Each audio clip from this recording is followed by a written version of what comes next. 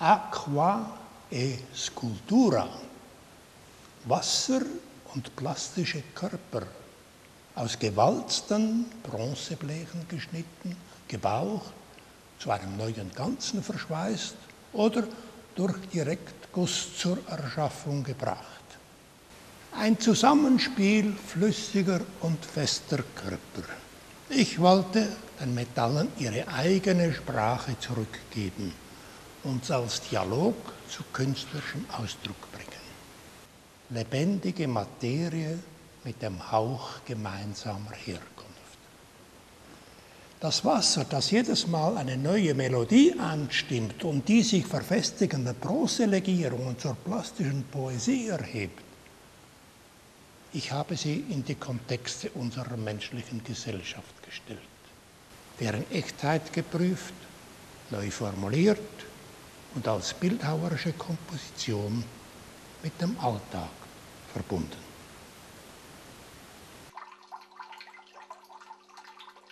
(1949), also zu Beginn des selbstständigen Schaffens von Erwin Rehmann, modellierte er diesen 60 cm hohen Brunnenentwurf.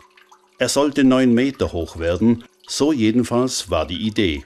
Doch es kam nie zur Ausführung dieses Projekts. 49 menschliche Figuren bildeten den kreisrunden Brunnenstock. Er stellt eine Abfolge von Lebensstadien dar, die sich von unten nach oben bis zur Vergeistigung entwickeln. Das Menschenwerden, das Geborenwerden aus dem Wasser als Urstoff des Lebens.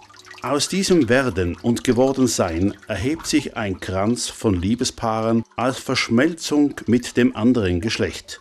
Darüber als drittes Stadium neun Individualitäten in der Selbstfindung, als weiteres Stadium vier ineinander zugekehrte und aufrechte Gestalten mit erhobenen Armen als Säule.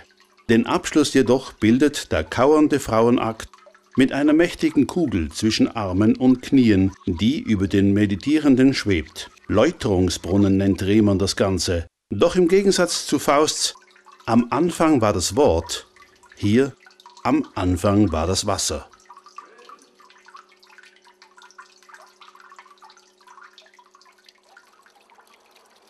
Auf einem ausgedehnten Landgut an der Côte d'Azur ließen 1988 Heinrich und Paula Gebert diesen aus Keramik bestehenden Brunnen von Erwin Rehmann erstellen, der in dreijähriger Bauzeit fertiggestellt wurde. Aus persönlichen Gründen verkauften Geberts 2001 ihr Grundstück an der Côte d'Azur und somit kam der Keramikbrunnen ins Laufenburger Museum von Erwin Rehmann wo er nun von vielen Liebhabern schöner Brunnen begutachtet und bestaunt werden kann. 1961 traten an Erwin Rehmann die Architekten Häfele Mosersteiger und Studer heran, um den Vorplatz des ersten Hochhauses von Zürich zu gestalten. Nach langem Hin und Her kam Rehmann auf die Lösung einer Kombination aus Licht, Bronze und Wasser. Eine runde Öffnung als Durchlass des Tageslichts in den unterirdischen Arbeitsraum und nachts als Umkehrung zu einer Lichtplastik. Von oben wirkt die Gestaltung wie ein Vulkanrand, gefüllt mit Wasser, das den Himmel widerspiegelt. Vom Rand her tauchen die Metallkörper konzentrisch ins Wasser, als ob sie die Mitte als ihren eigenen flüssigen Ursprung suchten. Über 40 Jahre sind es nun her, dass der Tag durch dieses Brunnenauge hinabblickt. Rehmann nannte ihn Krater. Doch was soll's? Warum immer alles benennen, um es ins Tagesgerede zu ziehen? Ohne Namen behielte vieles seinen volleren Sinn. Schaffhausen, berühmt durch seinen mächtigen Wasserfall am Rhein, bekam an seiner Gewerbeschule 1963 von Erwin Rehmann einen nicht alltäglichen Brunnen. Die Architekten Berchtold und Baumgartner hatten dem Neubauer einen Pausenvorplatz gegeben, der eine unterirdische Parkgarage überdeckt. Eine Wettbewerbseinladung flog Rehmann ins Haus. Rehmann stürzte sich in die Arbeit. Er durchschlug den Vorplatzboden, umgab das Loch mit einem Wasserbassin und hängte seine Skulptur dort hinein. Es war eine senkrechte, aus kleinen und großen Elementen zusammengeschweißte Wand, die sich mit zwei waagrechten, ausgestreckten Armen am inneren Brunnenrand in Schwebe hält. Viereinhalb Meter hoch und anderthalb Meter in die Tiefe. Dort ist dann auch der Schwerpunkt. So entsteht ein labiles Gleichgewicht und der Wind vermag sein Spiel mit dieser Masse treiben, obwohl das Ganze viereinhalb Tonnen wiegt. Stadtpräsident Walter Bringolf gab ihm den Namen Segel, der ihm bisher blieb. Zwischen Basel und Rheinfelden befindet sich die Ortschaft Augst, bekannt durch sein antikes Amphitheater. Doch hat es im Inneren des Ortes ein kleines Einod, welches zwischen der Gemeindekanzlei und Post den Besuchern ein wenig Freude schenkt. Der Brunnen. Gemeindeammann Hansberger hat ihn 1972 bei Erwin Rehmann in Auftrag gegeben, um den gemeinsamen Hof, den der Architekt Rudolf Otto für die Fantasie des Bildhauers wie ein römisches Atrium zur Verfügung stellte. Rehmann konzipierte einen 6 x 6 Meter großen quadratischen Brunnentrog, ließ das Ganze von einem Wasserstrudel anfüllen und aufquellen. Ein ausgelapptes Bronzegewölbe liegt schützend darüber. Metall und Wasser ist stets in fließender Bewegung. Die Wasserspiele der drei Findlingshälften am oberen Eingang des Regionalspitals Zofingen führen unterirdisch zum Hauptportal, dessen kubischer Neubau mit einem Trakt zum alten verbunden wurde.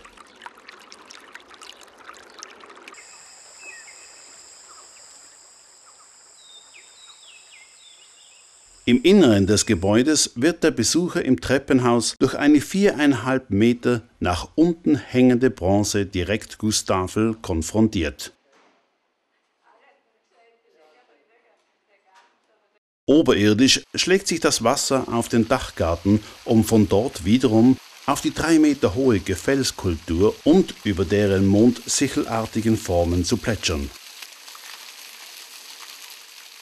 Weiter geht die schäumende Kronenbildung über die Skulptur hinab zum offenen Geläuf, umgeben von prächtiger Blütenpracht, in den abschließenden Biotop, der eine beachtliche Anzahl von Fischen, Schilf und Algen beherbergt.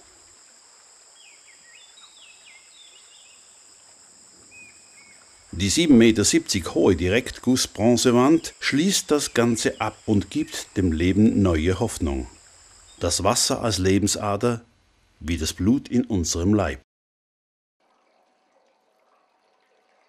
1966 wurde in Aarburg die neue Schulanlage Paradiesli gebaut. Der Industrielle Walter Franke ergriff die Initiative für eine bildhauerische Bereicherung des ganzen Pausenplatzes.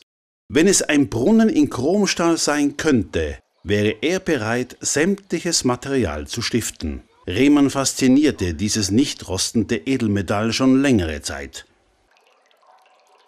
Er konstruierte mit zweieinhalb Millimeter starkem, leicht bombierten Blechen über ein Feld von drei mal drei Meter eine hochreliefartige Tischplatte, aufgestützt auf vier Stahlrohren, Erfrischung für Auge und Kehle, auch wenn das verwinkelte Fjordgrabensystem für Algen oder vermoosen sollte.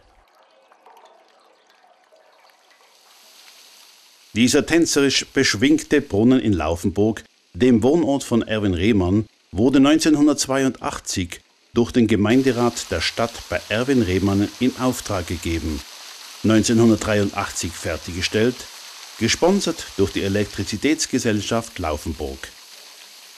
Viel Liebe, Mühe und auch schweißtreibende Arbeit liegt in diesem Werk.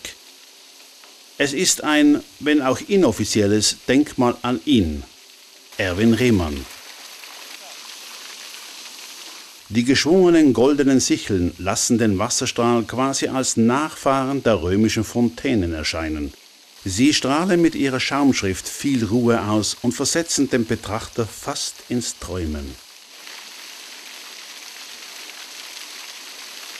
Ein sich menschliches Erholen.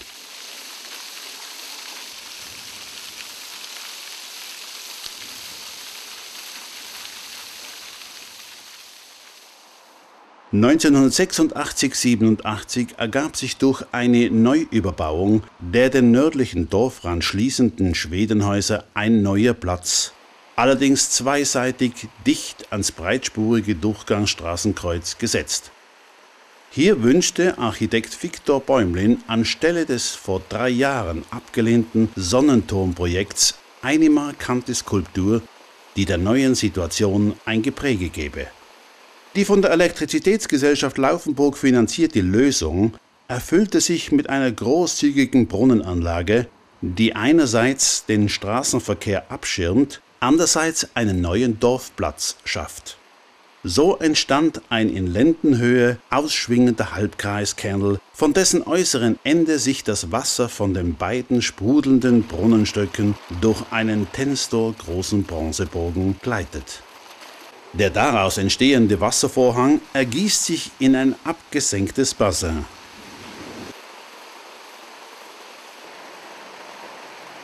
Rebstöcke verzieren die Kernelabstützungen. Vom Betrachter aus erscheint aus dieser Perspektive das Treiben auf der Hauptstraße direkt idyllisch.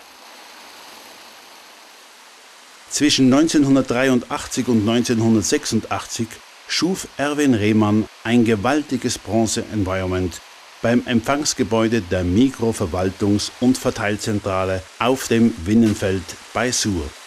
In seiner Grundidee macht sich Erwin Rehmann die Umgebung und deren Infrastruktur zunutze, welche durch den Architekt Robert Frey nicht nur Unterstützung fand, er stellte auch sein Know-how zur Verfügung. Die Geschäftsleitung der Migro war hell begeistert. Der rote Farbton der Porphyrsteine wird vom Plattenbelag rings um das Gebäude und der Treppe aufgenommen. Neben dieser Treppe, die zum Eingang des Baus führt, entlassen die Gefäße aus breiten Mäulern das Wasser in glitzernden Vorhang nach unten, zur nächsten Stufe eines vierfach getreppten Katarakts, dessen Abstürze mit Porphyrquaderchen besetzt sind. Zuhinterst sprudeln wie aus einer Furt sieben Quellen.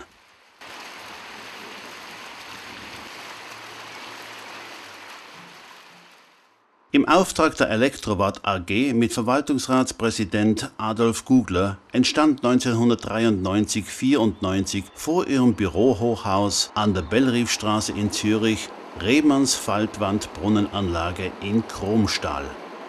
Das Becken misst 20 Meter ist mit 216 Luftdüsen und 28 dreifach Unterwasserscheinwerfern ausgerüstet. Im luftdurchströmten Bassin richtet sich die 15 Meter lange, 3,80 Meter hohe und 7,5 Tonnen schwere Faltwand auf. Die Plattenelemente mit 100 Quadratmeter Oberfläche wurden bei Öderlin AG von Erwin Rehmann in Baden gegossen, geschliffen, poliert, vom Schmiedewerk Imbach in Nebikon verformt und in der Jocke-Wartmann-Halle in Döttingen mit Hilfe von Rechmet Aliassis verschweißt und von der Ernst AG transportiert und versetzt. Die Oberfläche der Chromstahlelemente weisen eine reiche Formwelt auf, die nach der Erhaltung der Erde auch von der Fauna und Flora entwickelt wurde. Die Schöpfung gilt schon als Gen in der Materie. Direktor Friedrich Walti und Hausmeister Weisbeck luden am 7. Juni zum Ankertrunk Generaldirektor Adolf Gubler mit seinem Direktorenteam dann zur feierlichen Einweihung.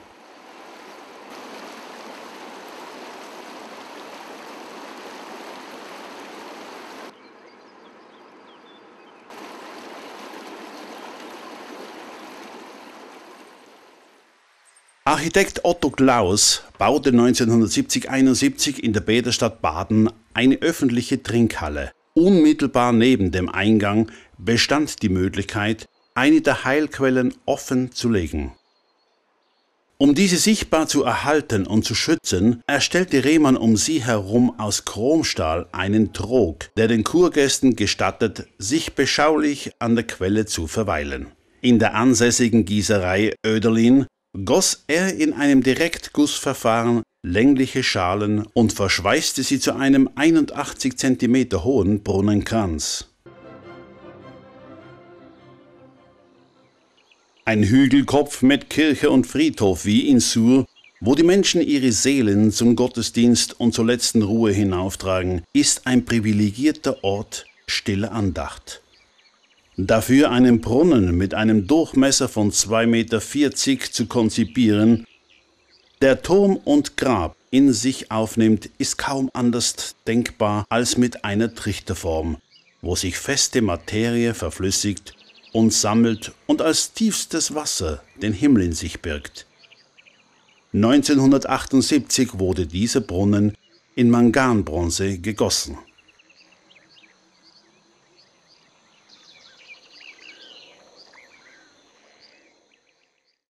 Der Kinderarzt Dr. Walter Straub in Lausanne, der über Jahrzehnte mit seiner Frau in Vercora, einem 1300 Meter hoch gelegenen Walliser Bergdorf, seine Wochenenden verbracht hatte, wollte der Gemeinde hierfür ein Geschenk machen. Der Gemeindepräsident Daniel Beruschou war einverstanden, dass er damit seinen Jugendfreund Erwin Rehmann beauftragte. Der noch ungenutzte Platz zwischen mittelalterlicher und moderner Bonifatiuskirchenanlage schien ein geeigneter Ort dafür zu sein. So entstand das Konzept zu einem Lebensweg mit Geburtsbrunnen und Hinschied ins Jenseits. Für die bildhauerische Arbeit wurde Erwin Rehmann von Daniel Waldner begleitet und assistiert. Der Lebensweg beginnt beim Betreten des Areals mit einer ebenerdigen kreisrunden Steinscheibe, aus deren Mitte Wasser aufsprudelt, das sich ins quadratische Bassin sammelt. Von da führt mit wild gebrochenen Kalksteinplatten ein Pfad durch den gepflästerten Platz zwischen beiden Kirchen, menschliche Freiheit, ob mit nach innen oder außen gekehrter Fußspitze, doch mit gegebenem Ziel. Am Platzrand, bevor er mit einem zweiten breiten Bassin und in einer fünf Meter tiefen Stützmauer aufhört, erhebt sich eine quadratische Acrylskulptur als Wand mit einem kreisrunden Durchbruch. Von der Seite gesehen ist alles umgekehrt. Der kreisrunde Raum wird zum Körper und das körperhafte Quadrat zum unsichtbaren Raum. Ein Weggehen nach Beendigung dieses Lebens.